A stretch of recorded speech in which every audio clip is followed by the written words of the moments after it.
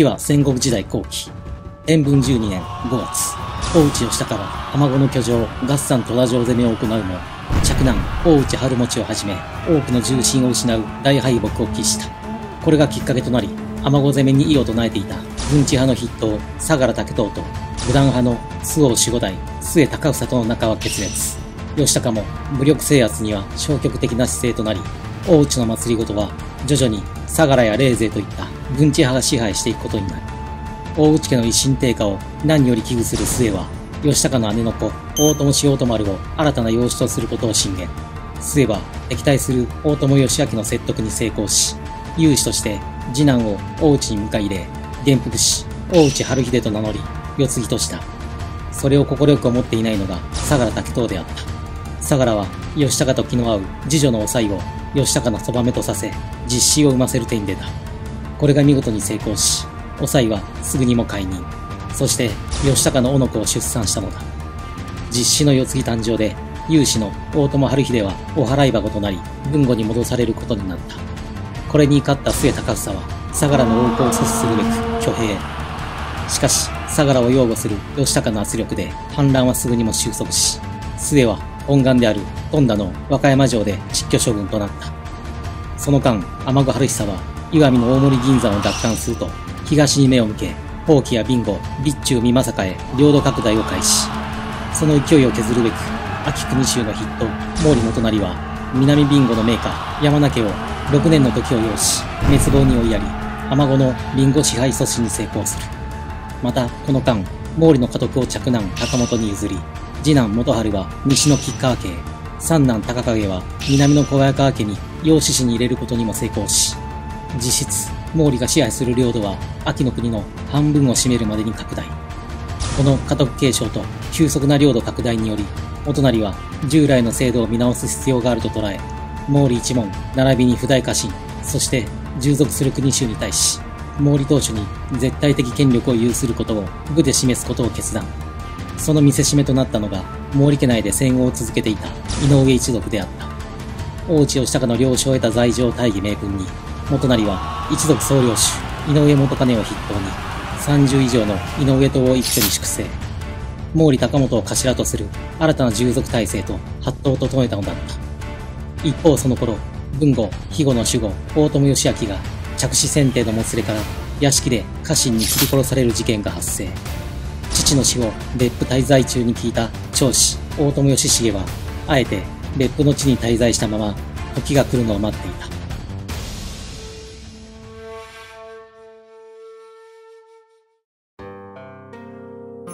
若様、家これからは親方様とお呼びせねばなりません。まだ早かろう。そうでもございません。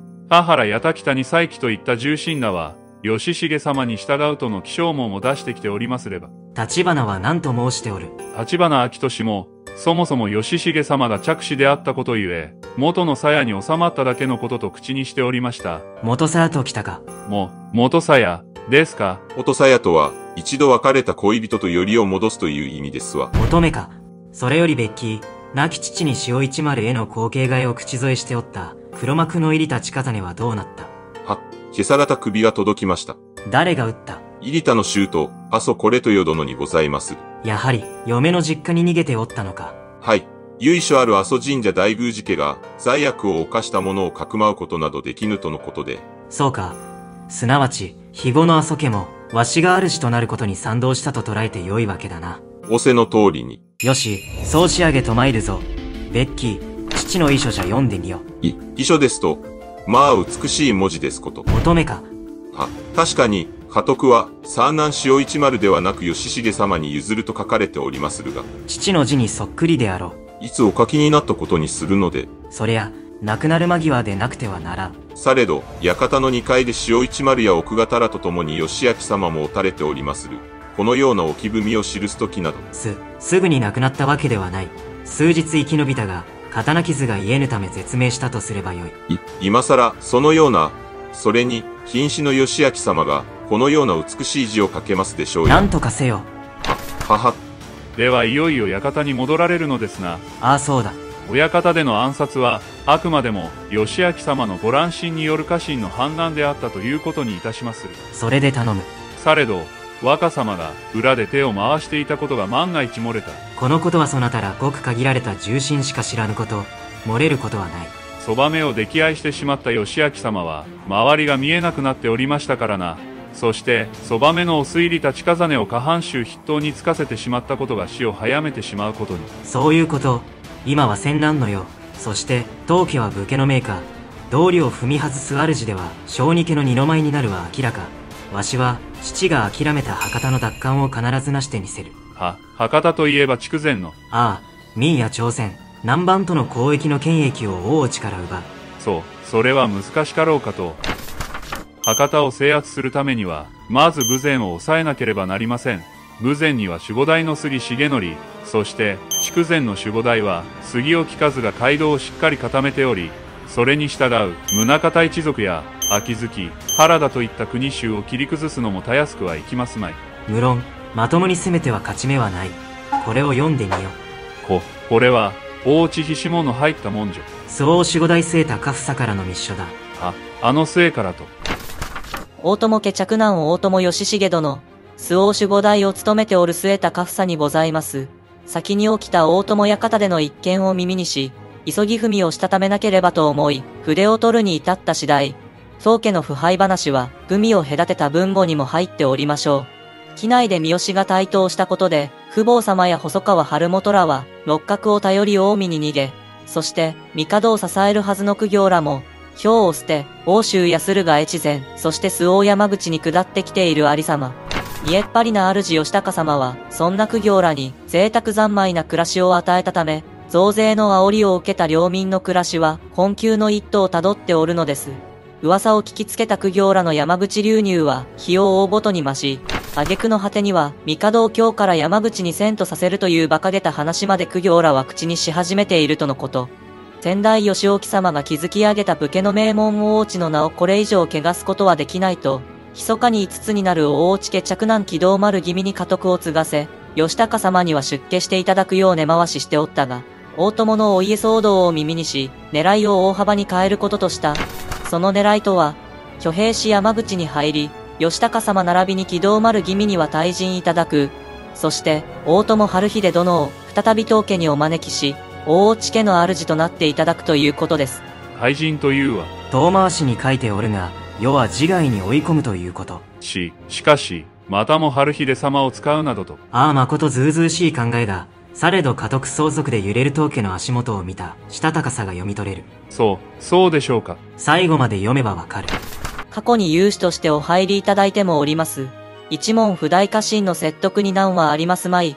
それがしが困難を鎮めてからの入国でも構いませぬゆえ、どうか前向きにご検討くださいませ。なお、春秀殿のお招きが叶うならば、武前筑前は捨てまするゆえ、切り取り次第で、存分に大友家の所領としてくださいませ。き、切り取り次第で、武前と筑前が手に入ると。ああ、博多を得ることも夢ではなくなる。まあその前に末の謀反が、成功裏に進まねば始まらぬ。そして、弟春秀に、義高の後を継ぐ覚悟が定まるかどうか。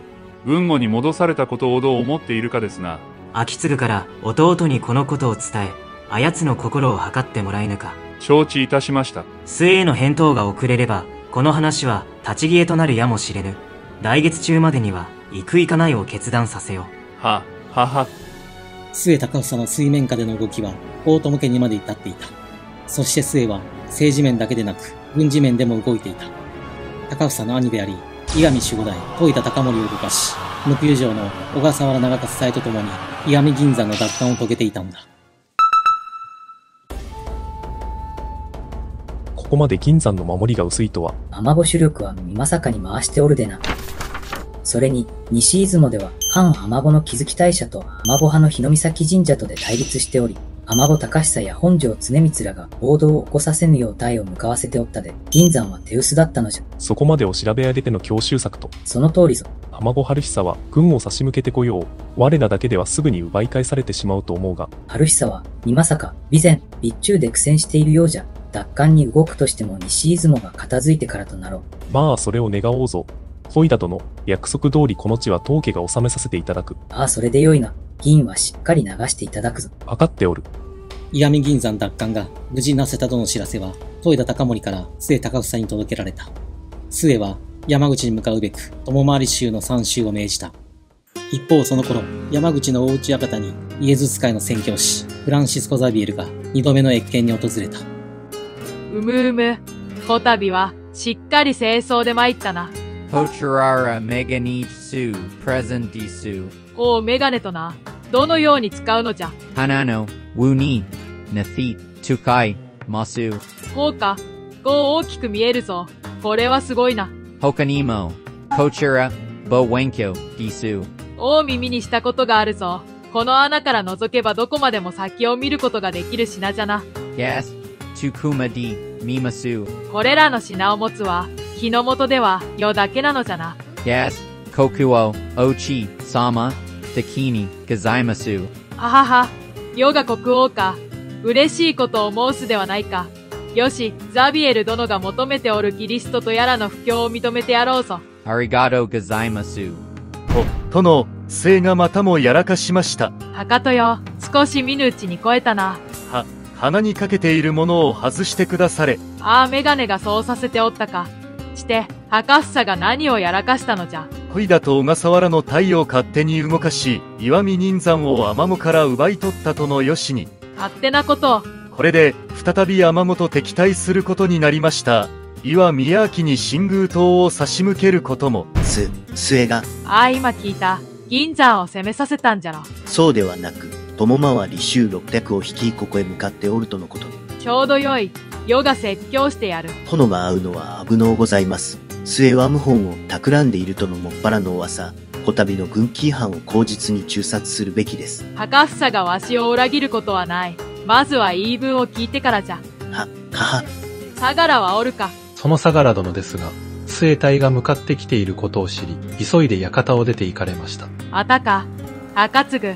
赤房が来たら、刀はすべて番所で預かり、赤房の実を中に入れよ。は、大内殿、何やら騒がしいな。ご案じなさらず、異国の者らが訪ねてきたゆえ、皆はしゃいでおるだけに。そうであったか。そうじゃ。先日山口に下校して参った持病院殿の一族の屋敷が少々手狭なようじゃ。下僕の数も足りておらぬゆえ、整えてくだされ。それはいけませんな。すぐにも手配させましょう。頼みましたぞ。今宵は満月じゃ月見の宴の日じゃぞ。飲み明かしましょうぞ。ほほほ。殿、末をお連れしました。うむとうせ。は。さあ高房、何を発する？義高様、岩見の体を許しなく動かしたことは謝ります。されど、二条殿、三条殿、持明院殿といった苦行らが住み着いたこの山淵は、過去にない財政難に陥っているのではありませんか？あ、馬鹿を申せ。山淵に落ちてきた苦行らに何不自由ない暮らしをさせ、ことあるごとに主演を催し、能楽にレンガを供ずる日々、そんな貴族の真似事のために、どれだけの年貢が領民から巻き上げられていると思っているのですか？なあ、何を根拠にそのような。義高様は祭りごとお礼税や相良に任せておりますゆえ詳細は存じ上げぬのでしょうが、こちらは我が領民の訴えのほんの一部です。弱はにいじゃ、六カ国の守護でもある。困っている苦行らを救うことの何が悪いのじゃ。皇家は武家です。何より大事にせねばならぬのが、六カ国の領民。その次が、幕府。氷が荒れておるからと逃げてきた苦行らに、氷と変わらぬ贅沢な暮らしをさせるのが務めではないはず。だからといって、世の命なく銀山を攻めるとは。金が手に入れば財政を立て直すこともできましょう。部を持っていた銀は、いずれまた部で持って奪われる。それの繰り返しなのが何故わからぬ。も、もしや、義高様は、議会や官職といった古き権威でもって、この乱世を収めようとお考えに。ああ、文治政策こそが、この世から戦をなくす唯一の手段じゃ。そう、それゆえよからぬ噂も。もはや朝廷は機能しておらぬ。そうです。機能しておらぬ朝廷の権威を振りかざしたとて、何の役にも立ちませぬ。いずれかの大名が日の元を部で統一するまでこの戦乱の世は続くのです。仙台義興様が上洛なさることができたのは、朝廷権威にたがわぬ武力を有していたからに他ありません。ええ博房の話はもう聞きとうない。軍紀違反の罪により、博房に再び和歌山城での実居を命じる。世の許しが入るまで城を出てはならぬぞ。よいな。は、はは。末殿の申すことにも道理はありましたが。戦をしたいがためのへりくつにしか聞こえぬ。確かに、今領民には苦しい思いをさせておるやもしれぬが、この山口が日の元の中枢となれば、幸せな暮らしが確約されておるのじゃ。それまでの辛抱ぞ。義高様のお心は、もはや部族ではなく貴族なのじゃろうが、末の申す通り、そのお考えのままでは当家は危ういな。末高房による銀山奪還は、大内義高を目覚めさせる最後の手段でもあった。しかし、それも虚しく、末は再び居城和歌山城での窒居処分となった。またも実居を命じられたそうじゃな。はあ、銀は流しておるか。ああ、お前の言う通り3割はわしが頂戴し、残りを山口に送っておる。されど、今の山口に送ったとて、フゲラの思考に消えてゆくだけで、タミラの暮らしは改善せぬと思うが。そうやもしれぬが、義高様のお心が変わってくれることを期待しておる。変わらぬ時はいかがする以前は酔った勢いで下克上だのとほざいておったが。その思いは、今も心の底にはある。じゃがそれは最後の手段。わしが危惧しておるのはその最後の手段の策じゃ。お前のことゆえ、すでに根回しを始めてはおろうが。はあ、始めておるが。今のところ、味方の目算がつくのが、岩見守護代の兄者や小笠原、そして忍者である増田の東岩見州。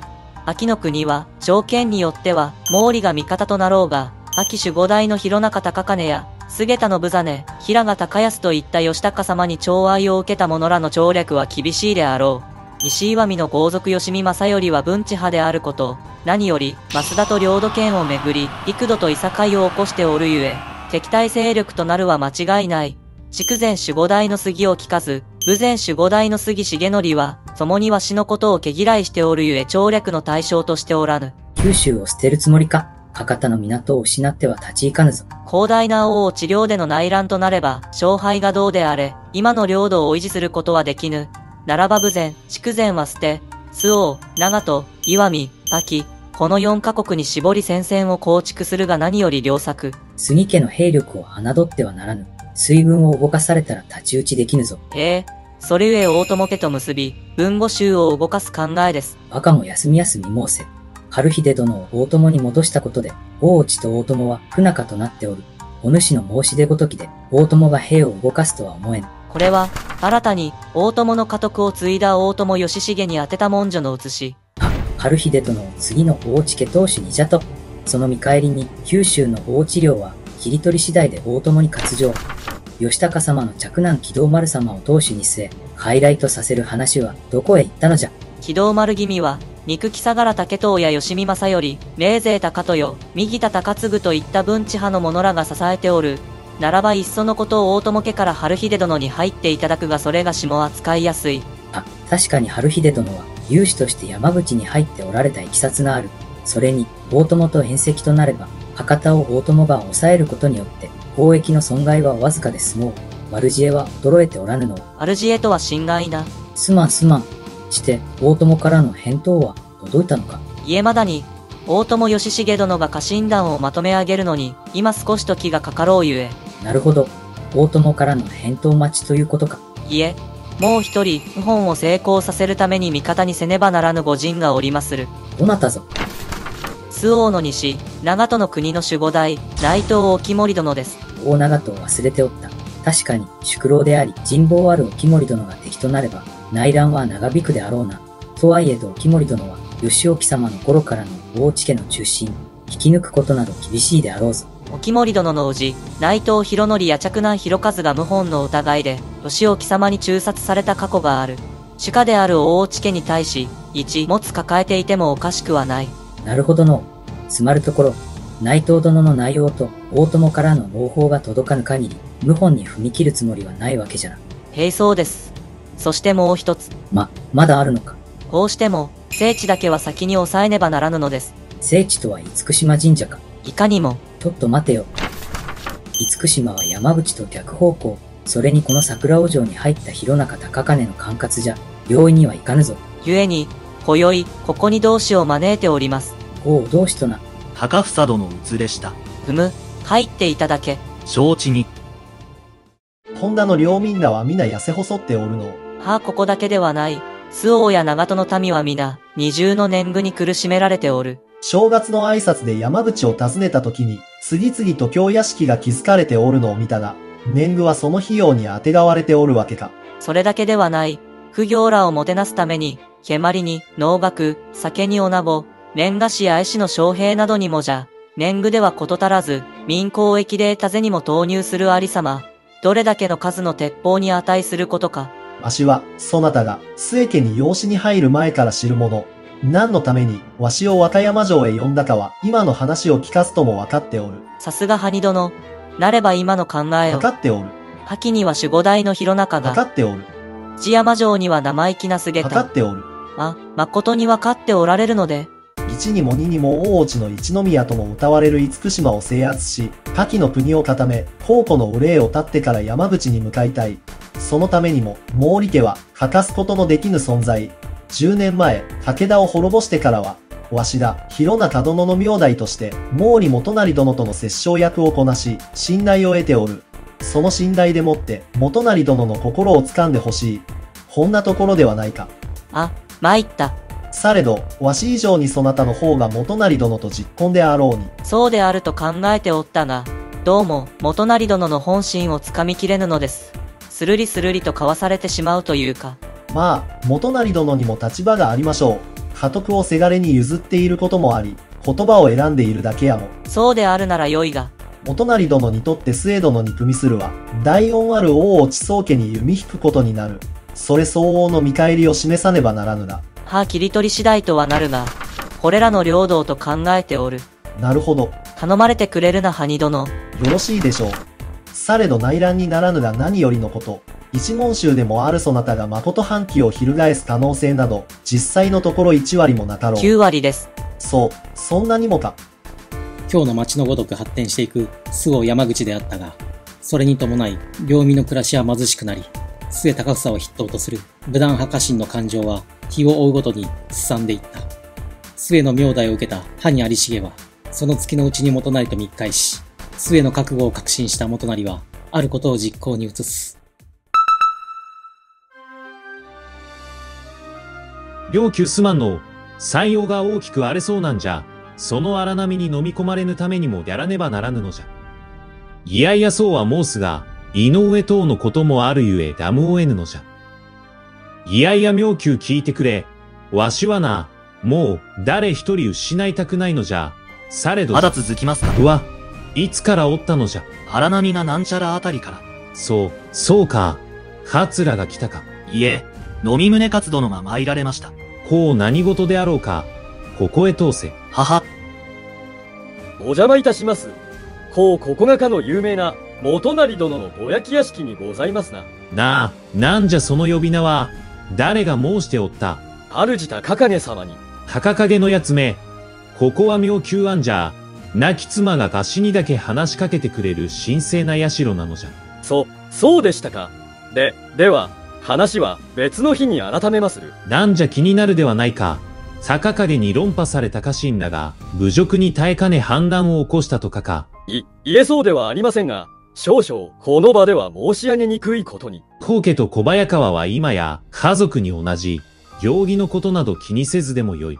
よ、容疑と申しますか常識と申しますかはい、お申せ。は、はは、それが死のいとこの娘おらんを、元成様の妻に迎えていただけたらと。つ、妻じゃと、かははは、真面目な顔してようも、こんなざれ言が口にできたの。され事ではありません。は、高影も来ておったのか。父上の三男である私が小早川を継いだというだけで、小早川の前家臣が言うことを聞くとお思いですか？それは高影、そなたの腕の見せ所ではないか。私一人では限界があるのです。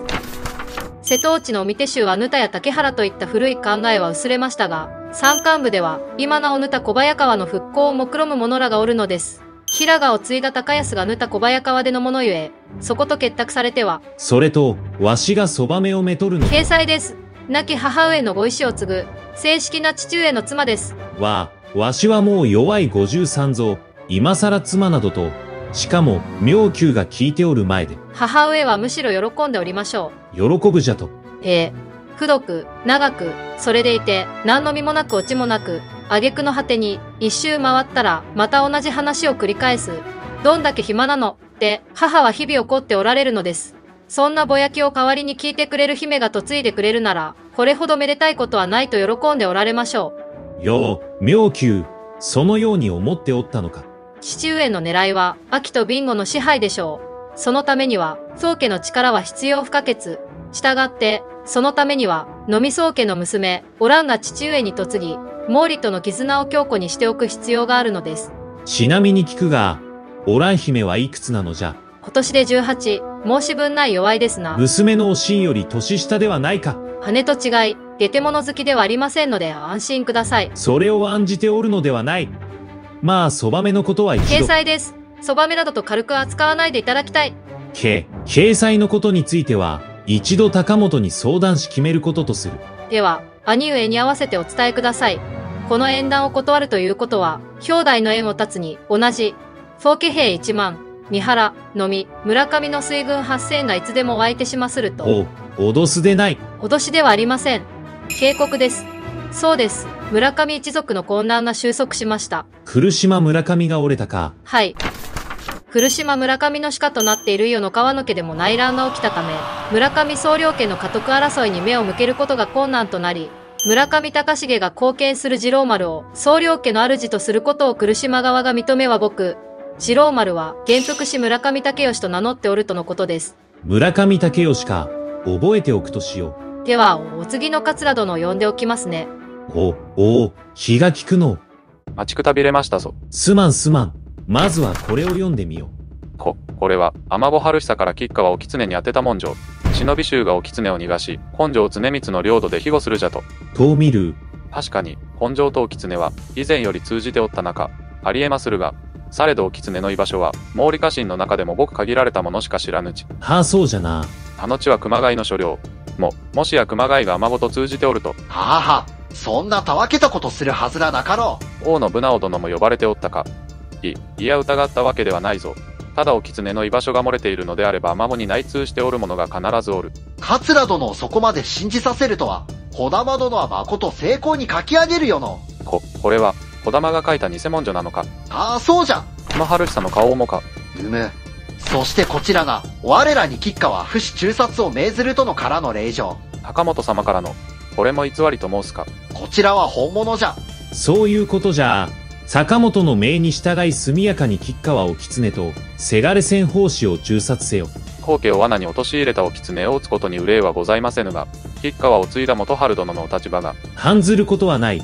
同じ手を用いてお狐派を封じ込める手はずとなっておる。そうでしたら、では王殿、勢勢を引き向かいまする。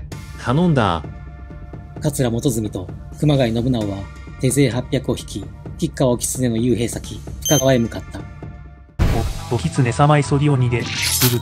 あ、何なんだよ。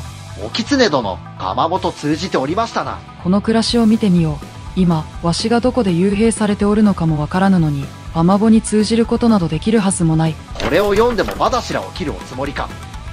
バカな。こんな話は聞いておらぬ。なんならこの屋敷をくまなく探してみろ。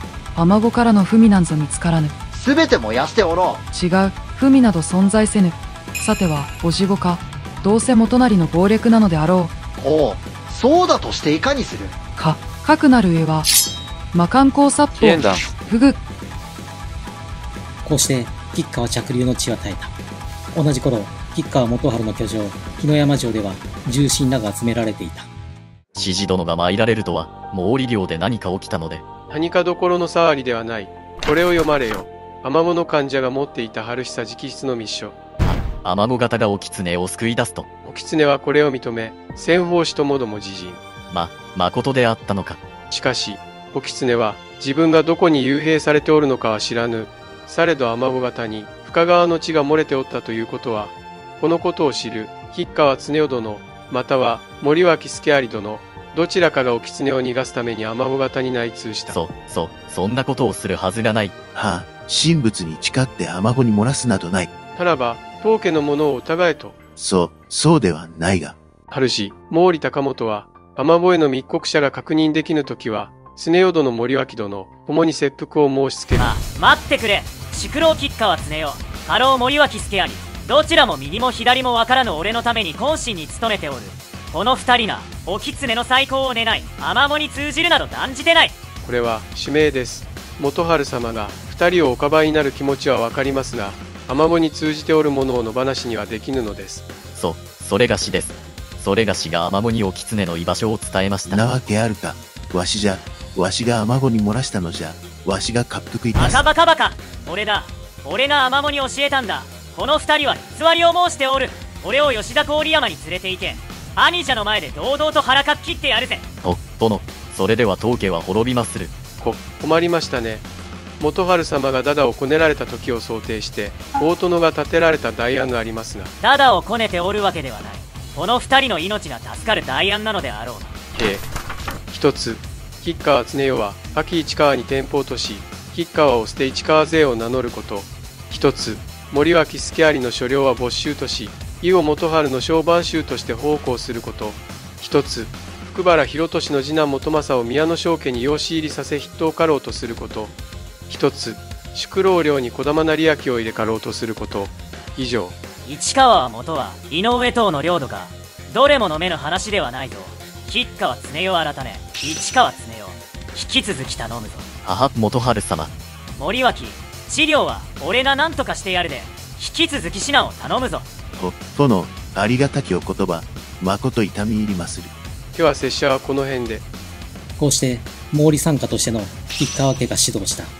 その後間もなくして、ぬた小早川所流筋である、宇津山城主、野見高沖の娘が、元就の掲載として嫁ぐこととなり、毛利と小早川の関係は、さらに強固なものとなった。その頃京では、三好長慶の弟、曽郷和正や松永久秀、湯沢長則の隊が、京奪還に向かってきた将軍足利義藤や六角貞頼の隊に勝利し、義藤は再び近江に撤退することとなった。この結果を伝えに、曽郷和正は三好長慶の待つ淀城に向かった。そうか。将軍は近江の片田まで下がったか。ああこれで六角はしばらく動けねえはずだこの勢いのまま将軍を追い詰めてしまおうぜ忘れるでない。我らは将軍を討つために戦っておるのではないのだ。兄者はそう口にするな久保か細川春元どちらかを撃たねば氷から火は消えぬのだぞ六角じゃ。おおまずは六角貞頼を消すのだな違う。こたびの大敗で、六角型は我らとのいさかいから降りたいと考えておろう。こちらに和睦の用意があると伝えれば飛びついてこようぞ。まあ今なら条件の良いワニとなるかよし明代は任せておけお前のような短気者では無理じゃ。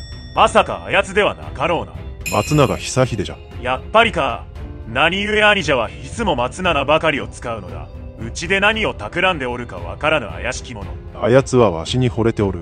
そうしてわしもまた久秀に惚れておる。きっもサイに惚れておるということじゃ。へしくじったら顔面叩き切ってやるわまあ失敗となれば、先に六角型に切られるであろうがな。そうか失敗を狙うのもありだバカを申すでない。へえへえそれより面白い話を聞いた。兄者の面白いは大抵面白くないからないいから聞け。へえへえ山陽に飛ばせておいた草からの知らせによると、近々、大落家で内乱が勃発するであろうとのことじゃ。従属国衆が反旗を翻す程度ではなく、大落一門による謀反増。二条やら三条やら苦行どもが続々と山口に落ちておると聞くが、どうするのであろうか。次は大友を頼るのか、はたまた異国にでも逃げるのかの。はははは。なあ面白いであろう。出るな。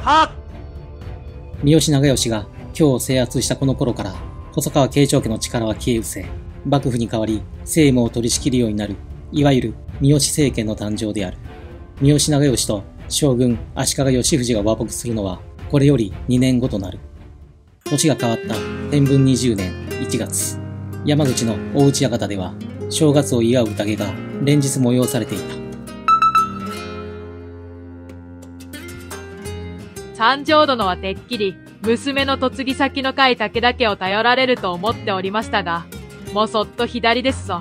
おこらかの、甲斐の国はあかんのですわ。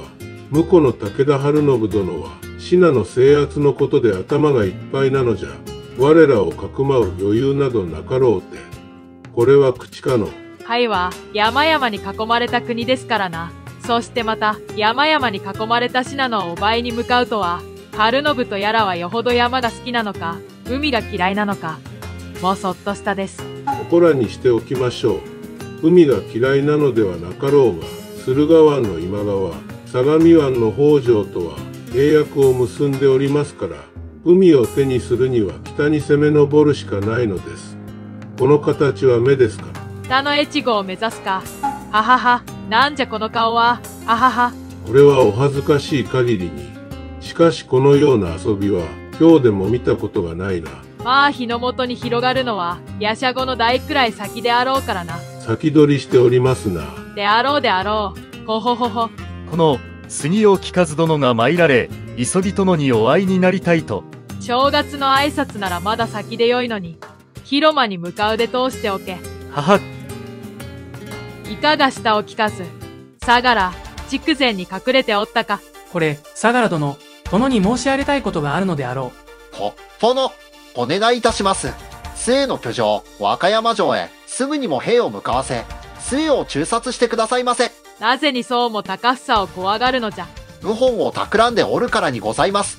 和歌山城には、毎夜のように、周防や秋の怒号らが出入りしており、挙兵の支度を進めておるのです。挙兵していかにする。ようあやめに山口に攻め込んでくるとでも申すか。十二分に考えられます。今ならまだ防ぐことができまする。どう稼いだカフサ討伐のボデチを。ならば、赤房謀反の証を示せ。そう、それはございませんが。大友のことといいこたびもそう。そなたは、噂を何倍にも膨らませすぎる。謀反を記す確固たる証を示さぬ限り、兵を向かわすことはせぬ。な、ならば、末に気象門を出させてくださいませ。くどいですぞ、相良殿。おお、内藤殿もスースは勝っておろう。末が大友と通じて謀反を企んでいること。お主が方々で流伝しておるから耳に入ってきておる。流伝ではない。ならば、表情衆であるそなたが、当家の祭りごとをほったらかしにして、逃げ隠れしておることも罪になるが、それについてはどうなんじゃ？さ、そりゃ。相良、当家に尽くしてきたそなたを罪に問いたくはない。されど、これ以上、根拠のない噂を広めるようなら見過ごしてやれぬことになるぞ。は、かは。殿、念のため秋の広中対安出た対、あとは、毛利にも使いを送り、万が一に備えさせておいては。高房が世を裏切るなど考えられぬ。備えなど不要じゃ。わあ、わかりました。末高房のことを信じたいからなのか、これ以上近しいものを失うのが怖いからなのか、大内義高は何の対策も講じなかった。その年の春が過ぎた6月、毛利元就は、掲載との間に生まれた四男の報告とお礼を兼ね、厳島神社へ向かっていた。おっとすまねえ。怪我はねえか。は、ああ大事ない。おい、その口の聞き方はないであろう。こちらにおられるお方をどなたと心得。知らねえな。聞いて驚くな。恐れ多くも先の副将軍。嘘を申すな。おっと、勢いでついつい。恐れ多くも、先の毛利家当主、毛利元就公にあらせられるぞ。ほう。ほう、ではない。そういや高重おじごから聞いたことがあったな。その名を。高重おじごとは、野島の村上高重殿のことに。あ、そうだ。ということは、そなたが村上総領主、村上武義殿か。ほう、こんな隠居じいさんにも伝わっておるとは。俺の名も知れ渡ってきたな。知られてえのか。やれるもんならやってみろ。刀を抜けば、生きてこの島から出ることはできねえぜ。ほざきやがって。そこまでじゃ、うちの者がすまぬ。まあいいぜ。高重殿は達者であるか？元気すぎて困っておる。ははは、元気すぎるか。良いことじゃ。野島水軍は、厳島神社にも警護を頼まれておるのか？いや、兵糧と塩を届ける仕事で来ただけだ。今終わって帰るところ。野暮なことを聞いてもよいか？塩が変わる前に帰りていいんだ。手短にしてくれよ。はあ、この厳島に城を築くなら、竹吉殿ならいずこを選ぶ。城か。どこがいいかなんて考えたこともねえが。ここから北に行ったところに妖怪山ってのがあって、その昔王地下神が砦を築いたことがあるって言ってたな。今は朽ち果てて森と化しておろうが、整備すりゃ北側に船を止めることもできようで、神社参道を守る城としてならありじゃないか。良いことを聞けた。感謝いたしまするぞ。感謝される話ではないがな。毛利も隣にあったと氏子に伝えておくぜ。はあ、よろしく頼む。大殿のことを呼び捨てしやがったな。海賊の頭なんてあんなもんだ。さあ、社に向かうぞ。はは。王をよう参った毛利の大殿様。その呼び方はご勘弁くだされ。本日はどのような用向きでございますかな。お恥ずかしながら、弱い五十死にして、四番目のおの子が生まれまして。恥ずかしがることではない。こう授かることはめでたきことですぞ。神にお礼をしに参ったのじゃら。いえ、それは口実にございまする。こ、口実ですと、神を口実の道具に使うとは。む、無論お礼詣であることが第一にござるが、神社を守護する棚森房明殿に、どうしてもお伝えしておかねばならぬことがありまして。い、嫌な予感しかせん。高知家で内乱の兆しがあることは耳にしておりましょう。ああ、風のお噂程度であるが、周防からの旅うどが申しておったな。こちら、草津城の歯に有重殿からの密書に。お、大内に異変が起きた際は、毛利水軍が厳島を守備せよとな。はい、そのように命じられておりまする。毛利水軍と書かれておりますが、実際に守備につくは小早川水軍になりましょうが。ま、誠内乱は起きるのかまだ何とも。起きる割合はどの程度と見るくぶくりん。起きるやないかい。謀反を起こすは末なのであろう。さあどうでしょう？末で決まりじゃ。毛利殿は、どの立場でこの厳島を守るおつもりなのじゃ。まあ、大恩あるお大内側であるとは思うが。さあどうでしょう？す、末と手を組むと。末殿と手を組むなど、一言も口にしておりませんぞ。申しているようなものぞ。皇家は、厳島を守ることが務めにございまする。誰が敵になろうとこの島は、宗家が必ず守りまするゆえ。た、頼みましたぞ。はは。では、四男出生のお礼詣に向かいましょう。こ、こちらへ。それから2ヶ月が過ぎた。天文20年8月。大友家からの密使が和歌山城に入った。ええ、大友家、破藩州の拙者が参っておるのです。その文に嘘、偽りはございません。こちらは武前筑前領を放棄する旨を記した文書。うむ、確かにいただいた。主義重からは、成功裏に山口の制圧がなせ、義高や拓司の首が上がるまでは定款を続けるとのこと。我らが劣勢となったとしても遠征はしていただけぬということですな。いかにも、春秀様が大内の主となるまでは、当家はどちらの味方もいたさん。承知したとお伝えくだされ。うむ。では文を祈っておきますぞ。真田はおるか。は、ここに。愛藤殿の調略もなせ、そして春秀殿の山口入りを大友義重殿が認められた。おうやっとですな。山口の様子はどうじゃ？今朝戻った草の者の知らせによれば、高房様挙兵の噂は広がっておれど、特段備える様子もなく、キリスト教なる異国の布教を許したこともあり、異様な装束の南蛮人が下町を行き交う見事なまでの太平ぶり。これだけ、意図的に、範囲の噂を広めておるというに、何故義高様はわしを疑おうとせぬのじゃ、構えようとせぬのじゃ。信じておられるからにございましょう。そんな義高様を、本ある義高様をわしは打たねばならぬのか。高房様、大友とも話はついたのですぞ。この後に及んでおちけづくなど。客じゃ、一門である、わしの範囲を野放しにするような主に、ことほと呆れ果てておるのじゃ。手は。はあ、日の元を震撼させる無本劇の始まりじゃ。草長、手はず通りに使いを放て。はは、してその日は。この月の28、この日を出陣日と定める。承知いたしました。すぐにも使いを放ちまする。拙者の隊はいかに動けば。28日までには秋を封じておきたい。毛利は誠我らに味方するであろうか。お隣殿ならばこれほどの好機を伸ばすはずがない。されど当主である高本殿からは、明確な返答はない。高本殿は、義高様の養女を妻に迎えておる。そして守護医の出の関与を得たのも、義高様のお力によるものじゃでな。毛利家内で不死対立など起きては、秋を抑えることは困難。この文を読んでみよ。こ、これは、当然ながら毛利にも送られているのですな。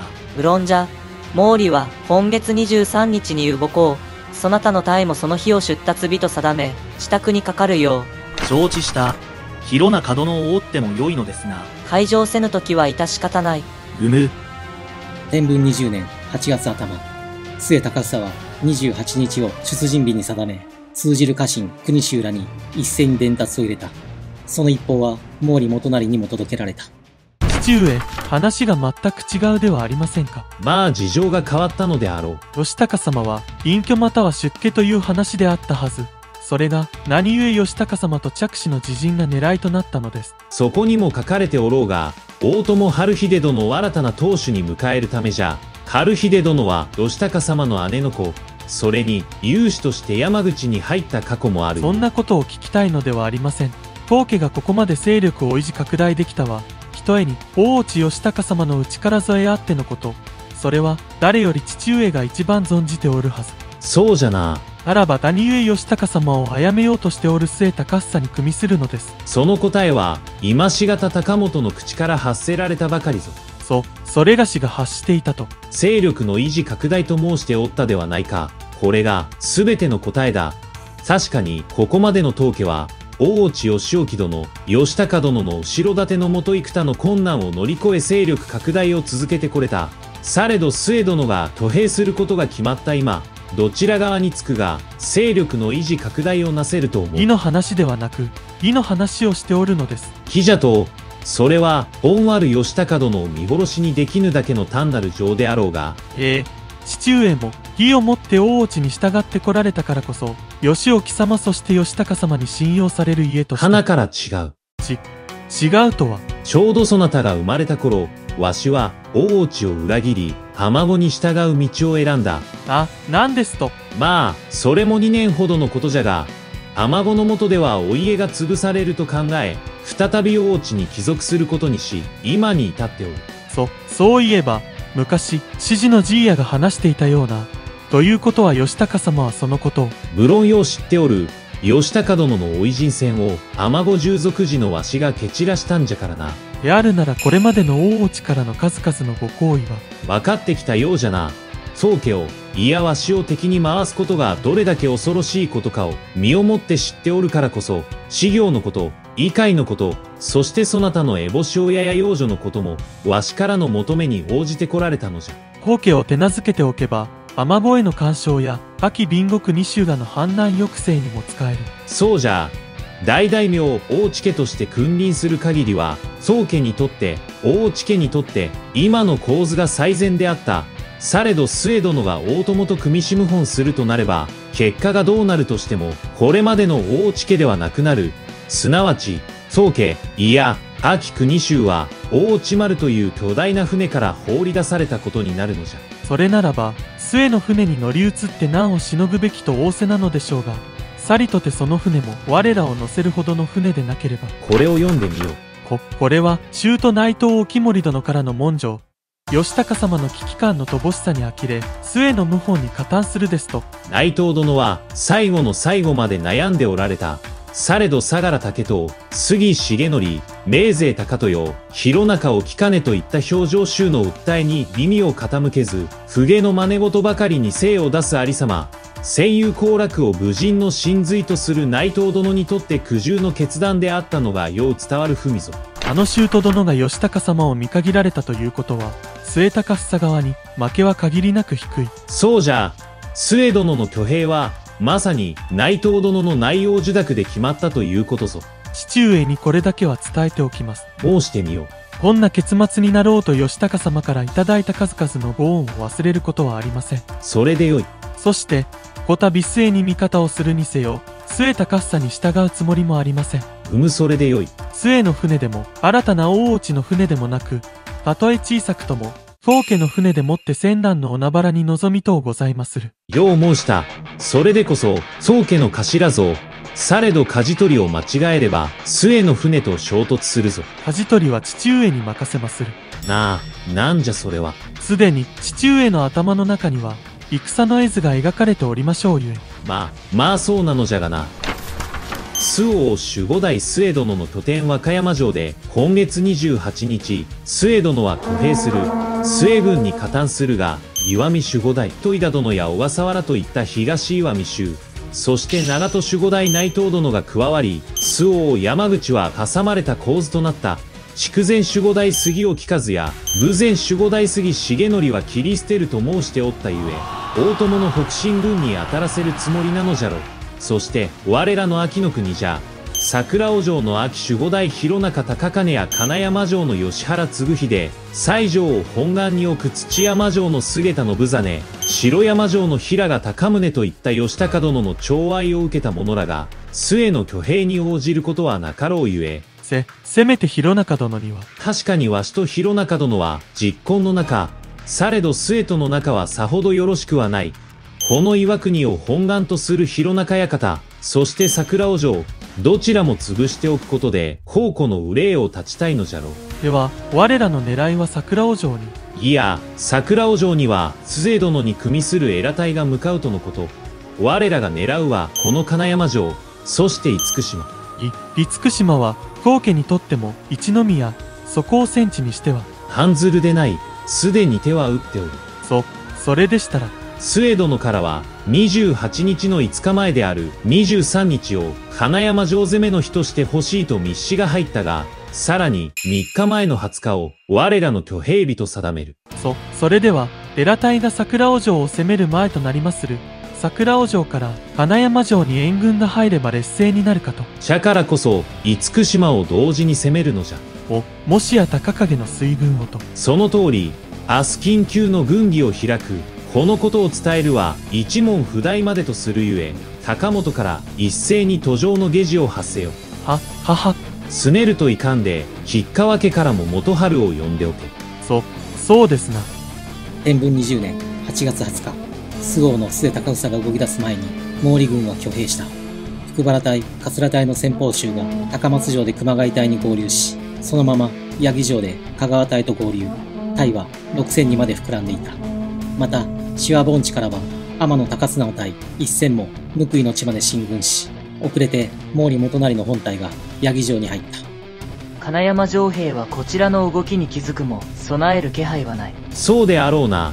山口に入っておる石州からの知らせは。末の挙兵が迫っていることを聞き、一部の百姓や商人は逃げ始めているとのこと。されど山口の館に備える動きはなく、相も変わらず、連夜の主演が催されている。そうか。元成様、恋城の恋殿から早馬が入り、桜尾城に動きはないとのこと。ふむ、恋城と草津城は、引き続き、山陽道並びに、秋灘の監視を続けるよう伝令を。承知しました。小早川の九死が参り、間もなく暮れ裏に入る頃であろうか。はい、わかった。よし皆の者よく聞け。古くよりわしに仕えし者はよう知っておろうが、宗家にとって因縁の地、佐藤金山城をこれより落としに向かう。いや正しくは、頂戴しに向かう。熊谷、香川、恋にとっては本願の地。この地を攻め取り次第で当家領とすることを認められたのだ。長州吉原嗣秀は戦嫌いで有名。よって、東山砦をお倍しの地は、海上交渉へと切り替える。良いな。天野隊と宍戸隊は、五詰めとしてここに残り、本隊は、坂の上まで進ませ本陣を置く。先方の香川。大殿、まずいことが。なんじゃ。き、吉川隊な、元春様の隊が、新たにの脇道から現れ、主城を落としに向かっているとのこと。勝手なことを、まあ放っておく。先方の香川隊、熊谷隊は、東山砦の制圧に向かえ。はは俺が先に呼ばれただろう。どけ。え、てめえ、抜けだけは許さんぞついに毛利が大内に反旗を翻し、金山城攻めを開始した。その初戦は予定にない吉川元春による友城攻めからとなった。元春様、我らの役目は城攻めではありませんぞ。はあか、あなたにさんでぼーっと戦況を見続けておけなんてくだらん目にはしたらえん。無駄に城を攻めるだけになるのですぞ。高影が、厳島の選挙で先行を上げるのに、なんで、兄の腕は山で待機なんだよ。城の一つでも落とさねば、また、高影にでけえ顔されちまう。山から敵を威嚇するのもれっきとした功なのです。弱腰に思われるだけだ。行くぞ金山城より先に友城を燃やしてしまうのだ俺についてこいこ、これは大目玉を食らうな。吉川元春の奇襲攻撃により、友城はあっさり落城。城から昇る煙は東山砦を攻める毛利軍にもしっかり確認できた。お、おいあっちは友城の方面だよな。吉川隊が落としたんだろうが。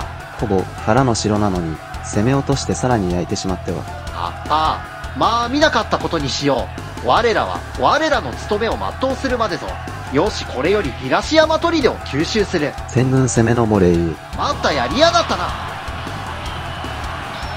地を知る熊谷や香川の隊に攻められた砦兵は抵抗することもせず放置し門を開けた東西で突如起きた異変は間もなくして金山城代吉原嗣秀に届けられたあ、誠吉川と毛利なのか。間違いございません。友城も東大和砦も何の通達もなく突如攻め込まれました。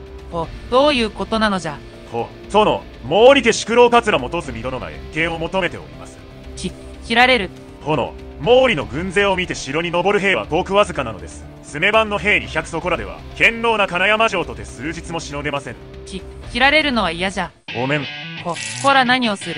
我らは、元は武田家臣、吉原殿と命運を共にするならば、毛利に下りとうございまする。ち、死にとうないのじゃ。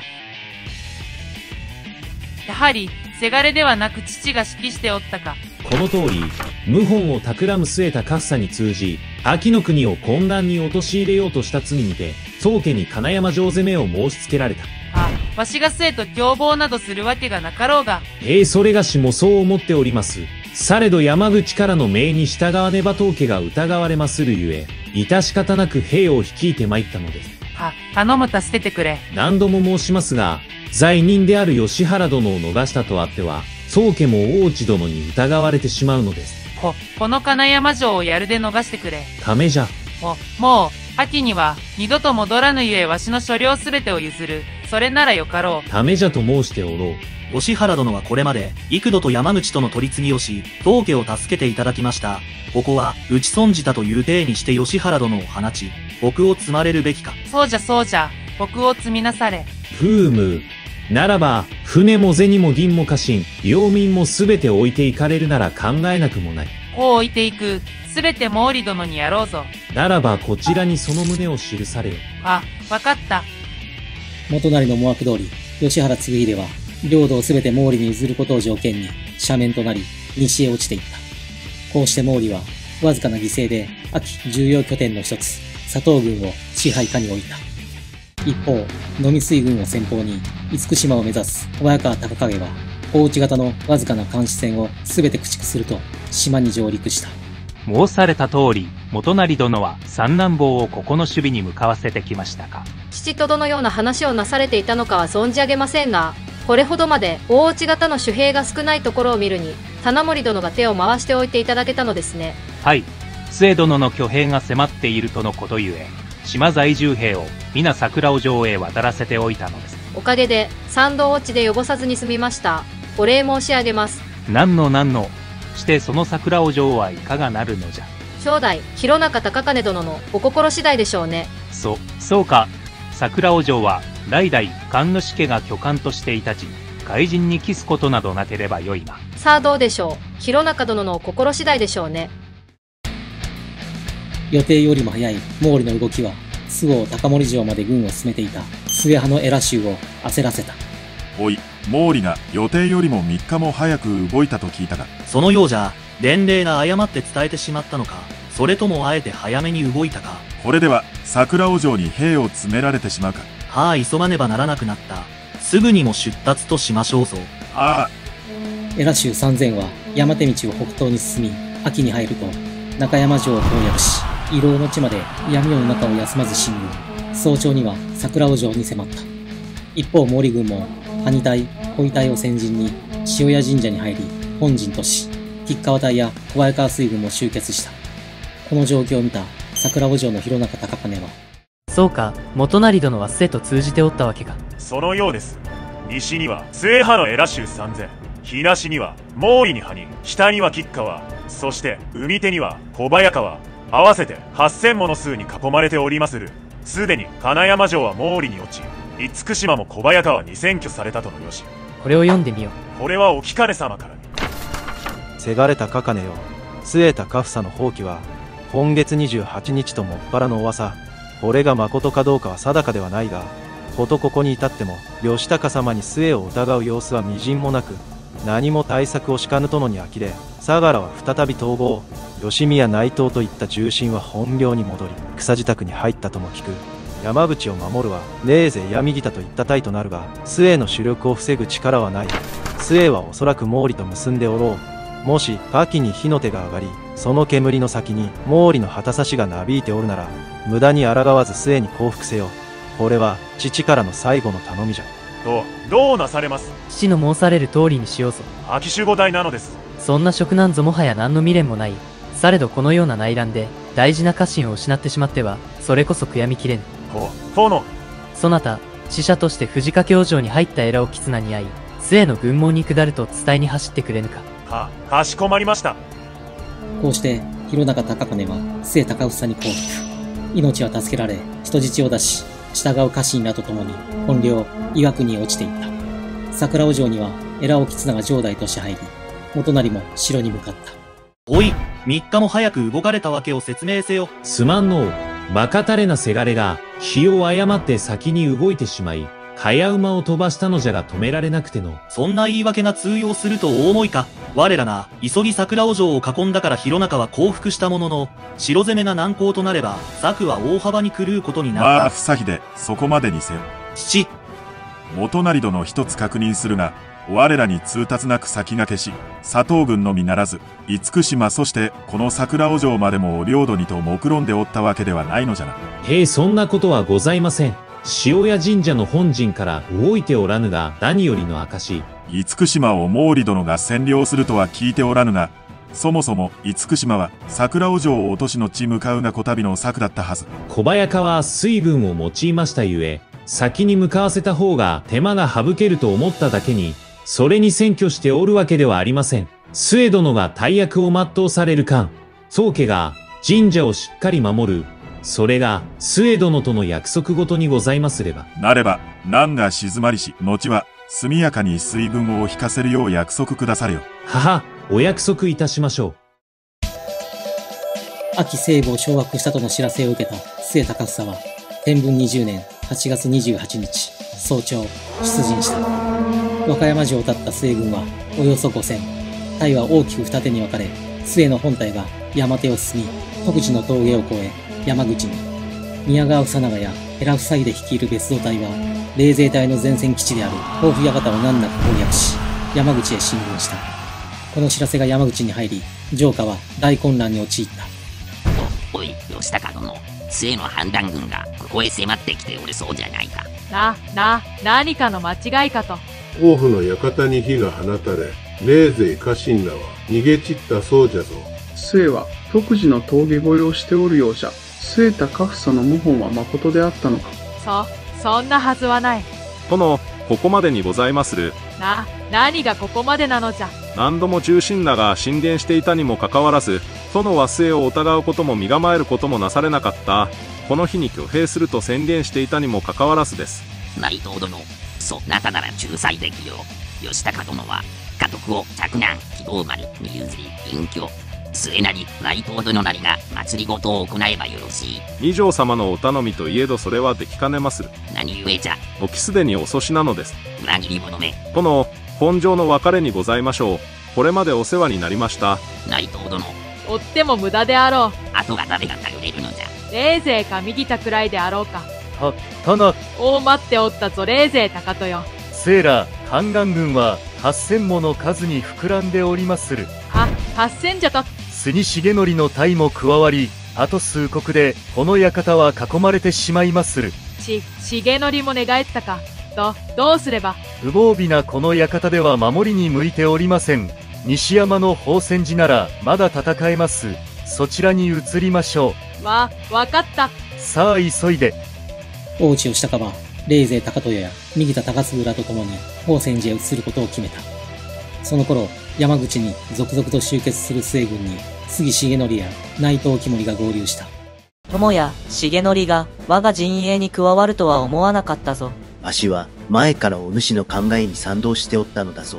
がはあことであろうの。は無論じゃ。ああそうしておいてやろ吉高様ら一行は、宝泉寺を陣所に選んだ容赦。う。王内藤殿、それがしに組みしていただき感謝いたしまする。腐敗した大内を立て直すには、末殿のような統率に秀でた者に確信してもらうほかない。その思いに至ったまでそう。あこと秀でておるかはこれからにござろええ義高様と着手のご自害最低でもこれをなさねば何の終わりは見えぬでしょうそうじゃな。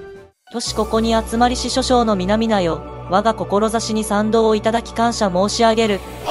これより宝泉寺に逃げ込んだ元主、大内義高、並びに、その着式銅丸を撃つ、歌沼で、この戦いは終わらぬと心得よ。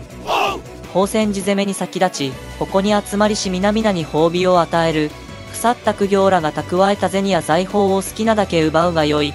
どれだけ奪ってもよいし、抵抗する苦行は切ってしまえ。されど、奪い合いはご法度じゃ。見つけ次第斬首とするゆえ心せよ。宝泉寺攻めは二国ごとする。さあ、宝探しの始まりじゃ。末軍は次々に公家屋敷に押し入り、乱暴取りが始まった。山口に入り、贅沢三昧の日々を過ごした二条忠次や三条金より、地名院元則をはじめ、多くの公家がここで命を落とすことになった。殿、大方隊が戻りましてございまする。ふむ。さあこれより本戦じゃ。町の火の手を見て、宝泉寺の守兵も大方に出ておろう。一挙に二人を自陣に追い込む。さあ攻め込むのです。いよいよ、末軍による宝泉寺攻めが始まった。ついに末が動き出した。来たか。ほ、ほら逃げるでない。2000ほどが寺まで突き従ったが、次々に逃げ出し、今や300も恨み、逃げ落ちるなら早い方が良いかどこに逃げるというのじゃ。と。義高様の姉婿、義見殿を頼るのです。主な街道はすべて封じられておろう。長門の海まで出てしまえば、末の追っては負けましょう。そこから東に向かえば岩見に入れるので。船を使うか。どうじゃ勝っておるか。勝負になりません。北に逃げまするぞ。こ、この寺なら戦えると申したではないか。さあ、お急ぎください。わあ。下脱兵の王さんに、宝泉寺での交戦を諦め、大地義高ら一行は、道なき山の中を北に向け逃げ始めた。やはり逃げたか。吉見領に逃げられてはまずい。すぐにも追いましょうぞ。うむ。さあ、者ども追いかけよ。大内義高は着手軌道丸を連れ、必死に逃げた。およそ丸一日逃げ続け、一行がたどり着いた港は仙崎であった。その仙崎から船で萩まで移動できれば、吉見正頼の待つ三本松城。しかし、雨風が強くなり、出港を断念。一行は南に向かい、大内家にゆかりある深川の大寧寺に庇護された。その翌日、村人らの密告により、末軍が大寧寺に押し寄せ、寺は取り囲まれてしまった。軌道丸、そなたはたった今元服したのじゃ。木を尊ぶものであるとし、大内義高、とする、世と同じ読みじゃぞ。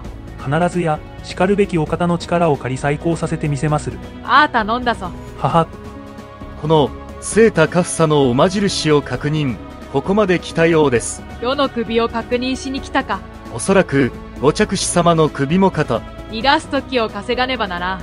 住職を通じ明日の朝自陣すると末に伝えよ。それまで、寺の敷居をまたぐことは相ならぬともな。はは。明日の朝か。待ちまするか。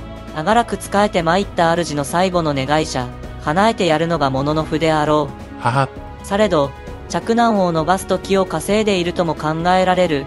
寺隊、杉隊、野上隊は、西と南への方位を広げよ。百姓に扮しておろうで、怪しい子連れはすべて捕らえよともな。は、指示いたしまする。そして日が変わり、9月1日を迎えた。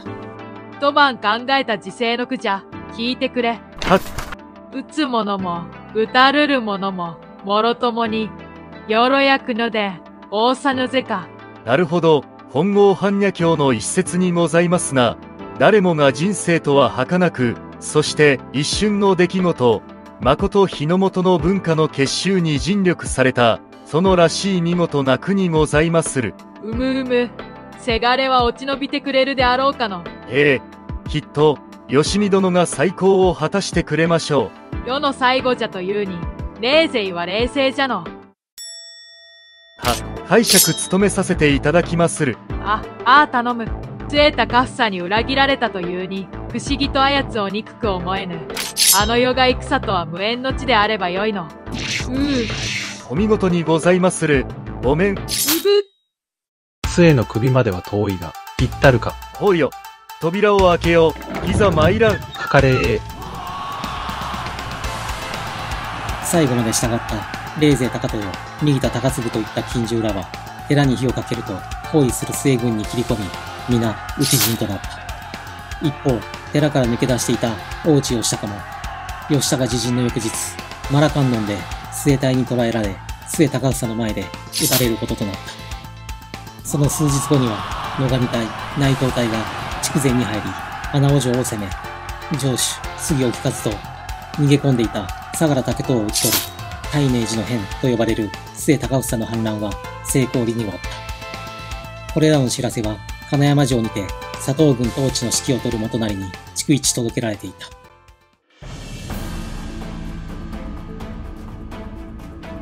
やははは、よろにょろにょろだってよ。こんな時勢、読んだことね。言ってた。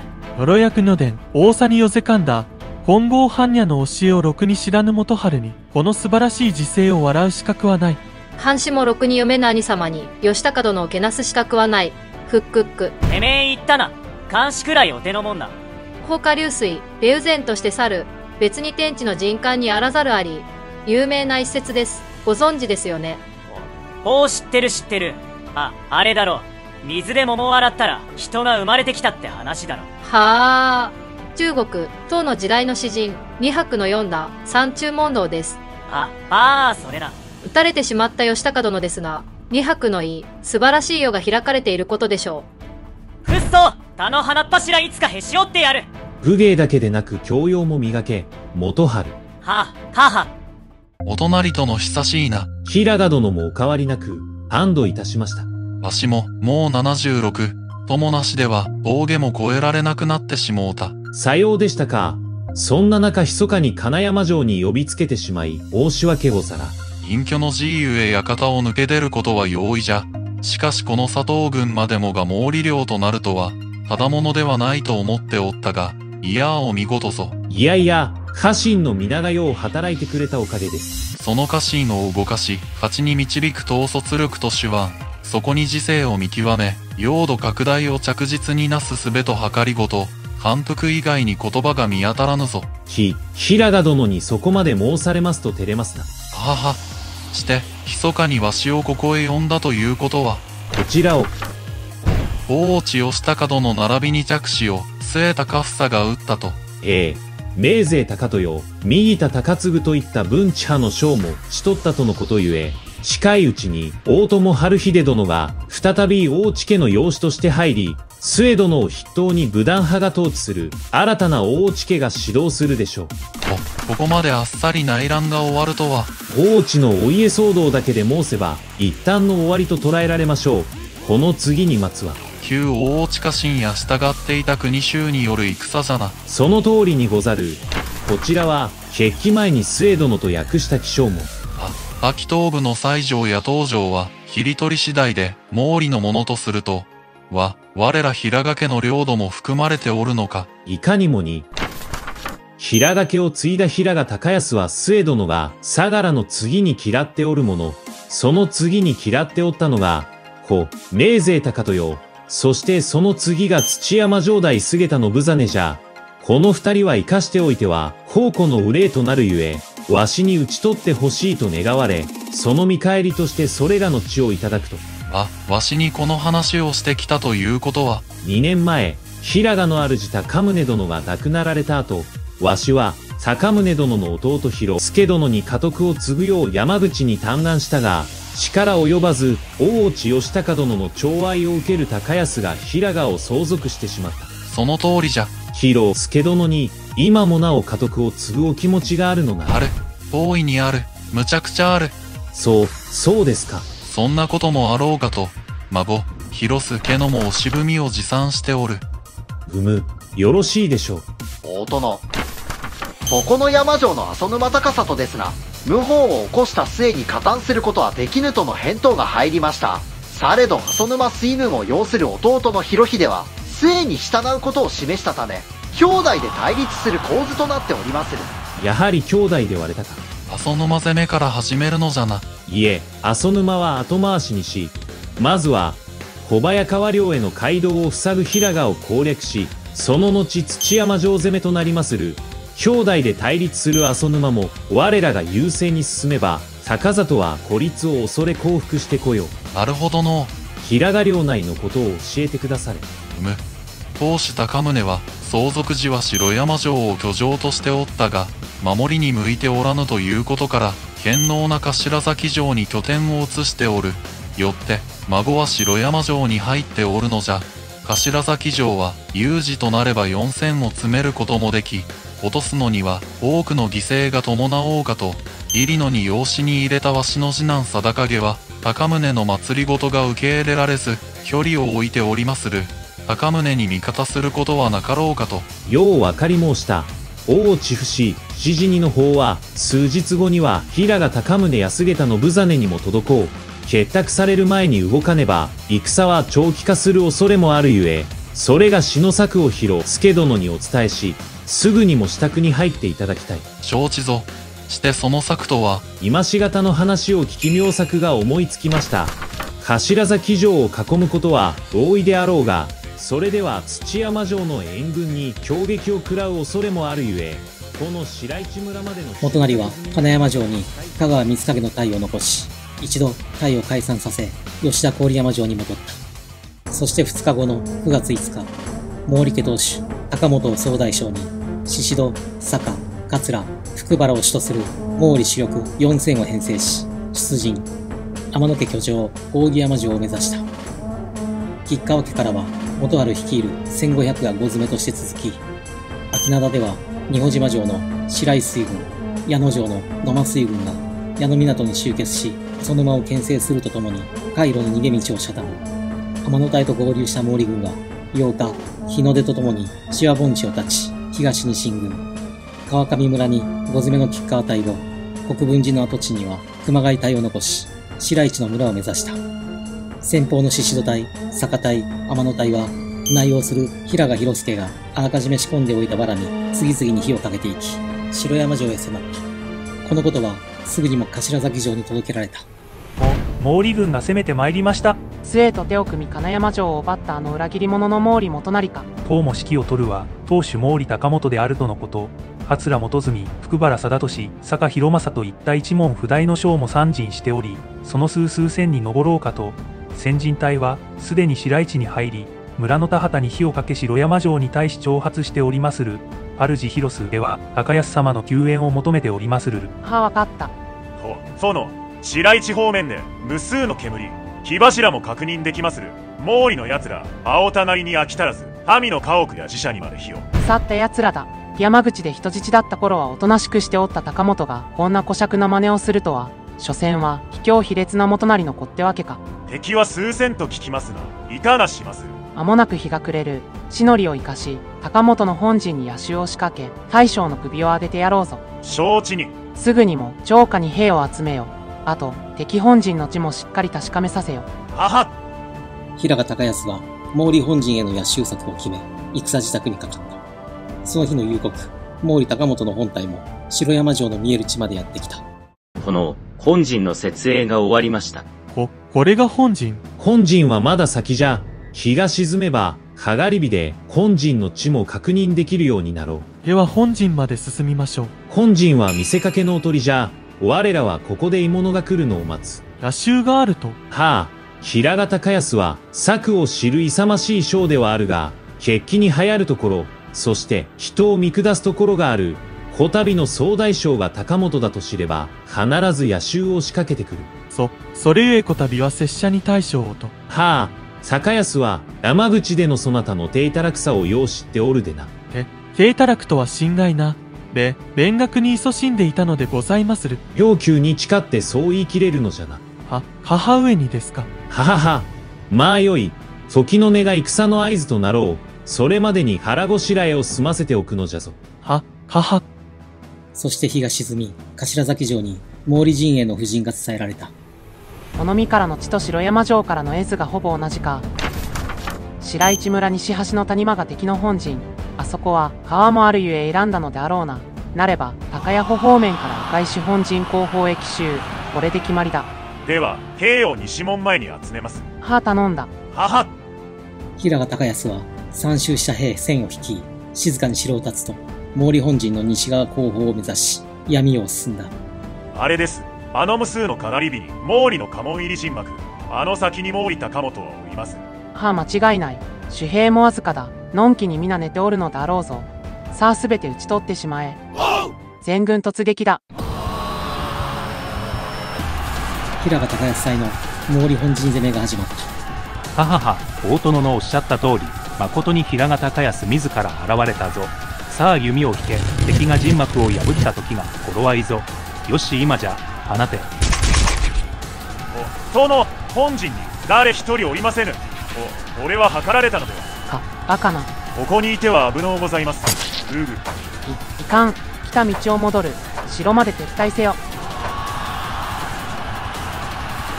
さあ高本。そなたの出番じゃ。そそれがしが無論じゃ。そなたは総大将ぞ。そそうでした。さあ皆の者浮き足立って逃げる敵を倒すのです出陣しちゃってください。森や竹林に隠れていた毛利軍が一斉に現れ撤退する平賀高安の隊を襲った。平賀高安を探せ見つけ出し首を上げるのです。お殿全方位から毛利の兵が現れておりまするとても頭崎城まで戻ることは。そう敵に包囲されておる城山城に逃げ込むこともできぬ。どうすれば？すれた殿の土山城まで落ちるのはいかがに？なるほどな。だが西の毛利陣を突破することも容易ではないぞ。南の竹藪の先に最上盆地へ向かい流れる川があります。その川を使いああの川は危険だぞ。故に敵の追っても振り切れるのです。拙者がご案内いたしまするゆえ。さあ。命を預けるぞ。はは。さあこちらです。毛利軍の包囲網をかいくぐり平賀高安は命からがら土山城まで落ち延びた。大将不在となり混乱する平賀隊は日が昇る頃には壊滅となり頭崎城もまた坂隊桂隊の攻めを受け数国で混落。その日中平賀高安の捜索は続くも見つけることができず夜となった。平賀殿愛すまぬ高安を取り逃してしもうた。早まらないでください。坂安が玉口から連れてきた重臣らの多くは昨夜の戦で討ち取っております坂安が再びこの地に戻ることはないでしょう。社が首が上がらねば家督継承に異を唱える者も現れよ平賀高安の居場所が判明した。ほうどこにおる？土山城入野川を使い西城まで抜け出たのであろうかと。よう調べたぞ。関は北で待機する宇山隊、向なし隊、西の熊谷隊、吉川隊に、明日早朝より土山城へ向かう指示を、あと、小早川にもご詰めを要請しておいてくれ。心得た。平賀殿、次こそは平賀高安、ついでに土山城主菅田の無実の首を必ずやあげましょうぞ。は、どうか、我が隊に先陣をお命じくださいませ。ふむ、坂本に代わりは死より平賀隊へ先陣を命じる。明日早朝出立となる、急ぎ支度にかかってくだされ。承知いたしました。天文20年9月11日、早朝、毛利元就の号令により、天野、平賀、一川、小早川、野間といった毛利白二州が秋の国で唯一残る大内直轄の城、土山城を包囲した。あ、わしの居場所がバレてますやん。毛利主力だけでも4000。そこに、吉川や天野、宇山にのみ、南のお見てには、野間に岩見、小早川や村上もいずれやってこよう。そうなれば、総勢1万5千にはなろうか。城に詰める兵はいかほどなのだ3000はおった。おった。とは、昨晩のうちに、半数が城を抜け出てしまった。な、なぜじゃ？この知らせが下々にも入ったのであろう。よ、よ、よ、義高様が西軍に撃たれたじゃと。正確にはご自害なされたとのよし。こっちも同じだ。金山城も桜尾城も落とされた。残すはビンゴの神鍋城だが、青影高明からの知らせは届いておるか。入っておらぬ。青影殿は、末の器量を認めておったもの。おそらくは、末とを通じておろうゆえ、援軍を期待することは厳しい。と、どうやってこの局面を乗り切るのだ？なあ、我らが崇める君主義高様はもう恨ぬ。お着し気味も打たれたのじゃ。誰のために、何のために、毛利ら菊二州と戦うというのじゃ。こうなら、本ある義高様の弔い合戦だ。それなら、敵は末高房、秋久二州らではないと思うが。どうせあの毛利元就のことだ。裏で末と通じ、綿密に測っておったに違いない。元就を倒すことも、亡き義高様の弔い合戦であろうぞ。なあ皆の者そうであろう。ここには、我ら二人しかおらぬ。そ、そうであったな。敵軍の総大将は毛利高元と聞く。あ、そうだ。高本と我らは山口の寺で共に研鑽を積んだ中、城を渡し領土を放棄することを条件に、我らと家臣の命を助けてもらうよう交渉すれば、心優しい高本のことじゃ、必ずや求めに応じてくれよう。城には、猛悪無道の元成がおるのだ。そんな条件を飲むはずがない。この城の主はわしじゃ。頼むで、一度だけわしのわがままを聞いてくれ。あ、まあわかった。一度だけだぞ。はあ。こうして、寺の総開始、幸福交渉が始まった。父上、この条件であれば、一人の命も失うことなく、西条の地が手に入るのです。それに菅田信真は山口で共に学びを深めた中、菅田の申し出を受けてやりとう存じまする。まあ、総大将の高本がそこまで申すならよかろう。されど幼稚を仕掛けるような輩もおる。何を企ててくるかわからぬゆえ、下級の増票や足軽から順に間隔を空け城を下るようにするのじゃ。心得ました。ということで、和尚、菅田の申し出通り降伏を認めると伝えてくだされ、城を下るは東大手道のみとし、当家の指示に従い、下級の者から順に50名ずつ下るようにとも。町や城が焼けずに済み助かります。それではご無礼いたします。高本が要望を飲んだだと。はい。わしや菅田の知人もいらぬと申したか。領土が手に入るのであればそれで十分であると。一人の命も奪いたくない高本殿のお心が元成殿に刺さりましてございます。こちら、城を明け渡す流れとなります。なあ言った通りであろう。はあ。しかし、秋を出たとて行くあてはあるのか。筑前の宗方に戻り、出家して寺に入ろうかと。なるほどな。わしは、今更、ネタの小早川には戻れぬし、筑前にでも行くか。す、ついてくるので。いかんのか。開城した土山城から、順に兵が下り始めた。父上ぼちぼち頃合いでは、そうじゃな。小早川と宍戸は北の道からじゃ。承知でエース。元春は熊谷隊と共に南の道を頼むぞ。お任せあれ高壁には負けんぜ。されど父上、このことを兄者に伝えぬでもよろしいので。はあ、攻めは全ては死が引き受ける。そなたらは必ずや菅田と平賀の首を上げるのじゃ。頼んだぞ。はは毛利元就は、末高房との盟約を守るため、そして、平賀広介に平賀の名跡を継がせるために、密かに総攻めを命じた。よっしゃ、高影はまだだな。隊は揃いましたぞ。さあ、亡霊よ。シュート殿分かったぜ。者ども本丸まで敵はいねえ。一挙に登り詰め、残る者らを根絶やしにするぞ。はかれへ。吉川と小早川による総攻めが始まった。足軽らは、すべて下った。そろそろ我らの番だぞ。そうじゃな。あ、た、大変です。なんじゃ。北と南から、ものすごい勢いで敵兵が登ってきまする。あ、バカな。降伏に応じたは見せかけだったのだ。いや、やられた。あの高本にこんな卑劣なことなどできん。どうせ元成だ。あやつの計りごとに決まっておるわ。この本車には100も残っておらん。もうここまでじゃ。わしはここで腹を切ろうと思う。好きにせよ。わしはただでは死なんぞ。奴らに人たち浴びせに向かう。従う者はわしについてこい。義高様、これよりそちらに参りまする。読みにてもどうかご寵愛のほどを。うう、ふぐ。我こそは平掛当主、平賀高安である。どこの兵だか知らんがわしに切られることを誉れと思え。すぐ、すぐ。まだまだだ。もっと来い。な、なに平賀高安、ここまでじゃ。お酒。ふぐ。平賀高安の首、小早川隊がいただいたぞ。無防備の城兵は、あっという間に殲滅となり、間もなくして、平賀高安、菅田信真の首が、毛利本陣に届けられた。なぜに、二人の首がここにあるのです？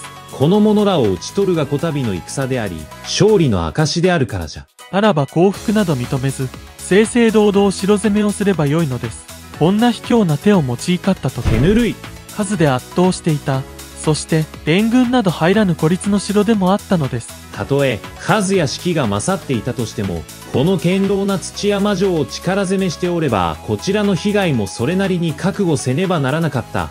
されどどうじゃ、結果、こちらは、数名が刀傷を負った程度、城兵もこの二人を含め80の犠牲にとどまった、城もほぼ無傷で残り、自社や民家も無事じゃ。結果の話をしているのではありません。総大将であるそれがしに何も告げずに動かれたことに憤慨しておるのです。はあ、これは明らかなる軍規違反。いかようにもわしを処分せよ。兄様、この計りごとはそもそも私が進言したこと、父と共に当家も処分くださいませ。かっこつけんな高影。俺もこの策は知っていて、兄者に伝えずに隠していたんだ。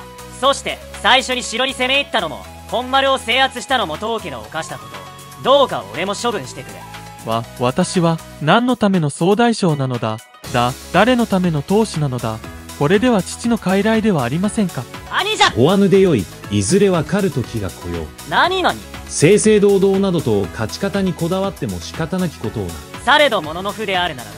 天難を生き抜く者の負は、勝ち方ではなく、たとえ卑怯者と罵られようと、とことん、勝ちにこだわる。ただ勝てばよいのではありません。極力犠牲を出さず、しっかり見返りを確保し、以後の祭りごとを見据える。そこまでを考てめえ、え偉そうに喋るんじゃね逃げろ。大殿、大友家臣、臼木明次殿の使者がこちらを。こう。秋筆頭国衆、毛利家を裏で支える毛利元就殿、大友家当主、大友義重である。こたびは末高房殿に組みしていただき深く感謝しておる。毛利殿が手早く秋を掌握したからこそ、西軍は王千府氏を討つことができたのだとそれがしは思っておる。来春にも我が弟が再び周防山口に入り、大内の家督を正式に継ぐことになる。わしより将軍家に願い出ておるゆえ、滞りなくことは運ぶであろう。どうか、以後は弟大内春秀に従う筆頭国衆として、中国を牽引下され、お頼みしましたぞ。当家と毛利家の友好の証として、ザビエルなる宣教師からいただいたお守りを授けよう。ゼウスの魂が込められた貴重な品なのだそうな。あの大友当主から直々に書簡をいただくとは恐れ入った。良くも悪くも、毛利の名が日の元に広がっておる何よりの証。まあよく広がっていくことはなかろうがな。これは昨日制殿から届いた文。お、平賀高安を追うてたなら平賀の家督は、元成殿の求め通り、広須家が継ぐことを認めると。そうじゃ。まあ新たにつく大内春秀殿からの当てがい状を受けてからが、正式なのじゃろうで大春となろうが、実権を握るは末殿となるゆえ、この高安の首をもって平賀家の主は広、助殿で決まりということじゃ。元成殿誠感謝いたしまする。谷の頃にまして、毛利家の力になりとを存じまする？ふむ頼むぞ。はは。さあ土山城攻めに加わっていただいた南長田、数日のうちに西条を平定できたことは、ひとえに、ここにおられる南長田のおかげじゃ、主高本に代わり、わしよりお礼申し上げる。この地は、宗家、天野家、平賀家、小早川家に分割して治業することとする。観光する地侍はおろうゆえ、おのおので従属させるよう努めてくだされ。武断派により生まれ変わる大内家、後ろ盾には大友も加わった、大内に従う、我ら秋国衆もまた、大きな力を得たことになる。このことを快く思わぬのが出雲の天子春久だ。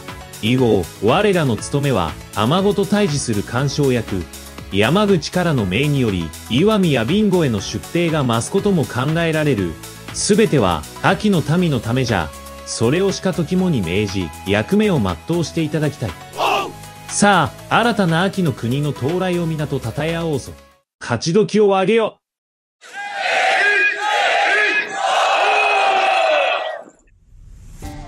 本能寺の変に匹敵する性変劇となった大寧寺の変が注目を浴びるため、末高房ばかりが取り上げられるが、毛利元就もこの謀反に大いに関わっていたことが研究により明らかになっている。後に大友家宿老、別居明すらが、すべては元就が描いた陰謀であったと書き残しているほど、大大名毛利家となるきっかけの戦いであったのだと想像できる。大内家を立て直す末高房と、それに従う毛利元就。そこに天子春久がどのように絡んでくるのか、次回作にてご確認ください。ここまでご視聴いただきありがとうございました。当番組では、通説や新説、そして歴史学者様の見解などを総合し、雪村なりにたどり着いた一つの合戦の形を動画にしております。戦をしなければならなかった理由は必ずあり、勝つための策を定め、いざ戦に臨み、そして勝敗が決する。時の戦国武将の立場や考えを想像することで、合戦の印象は大きく変わるのではないかと思います。事実など誰も知らない。そして絶対もない。だからこそそこにロマンがあるのです。この番組が皆様の想像力を沸かせる一助になれたら幸いです。それではまた別の戦場でお会いしましょう。雪村でした。